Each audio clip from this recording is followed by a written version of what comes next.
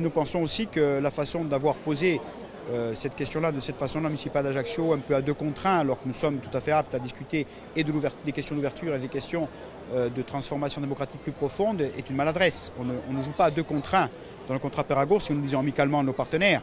Aujourd'hui, euh, Fais-moi Gauche, c'est quand même une composante importante, si ce n'est la composante la plus importante de la majorité, c'est le parti du président du conseil exécutif de Corse. Euh, les tactiques qui visent à essayer de circonscrire à deux contre un ce parti-là, on préfère le dire, elles seront vaines. Euh, nous pensons aujourd'hui que le vrai sujet, évidemment, c'est le rassemblement le plus large, sur des contrats clairs, c'est continuer cette ouverture. S'il y a un problème de fond là-dessus, ben, je pense qu'il faut en débattre, y compris euh, s'il le faut, aller au premier tour de manière différente pour se retrouver au second tour. Je crois que ça fait partie aussi de la démocratie. Le, le seul juge de ces questions-là, c'est le peuple corse. Et il faut avoir confiance au jugement du peuple corse dans ces cadres-là, surtout que ça ne remettrait pas en cause la majorité territoriale pour nous. Hein. On, peut avoir une gestion commune dans Péragours de la majorité territoriale et des affaires de la collectivité et ne pas dramatiser ce pluralisme-là entre premier et second tour au municipal. Donc aujourd'hui, nous sommes aussi là pour dire ça.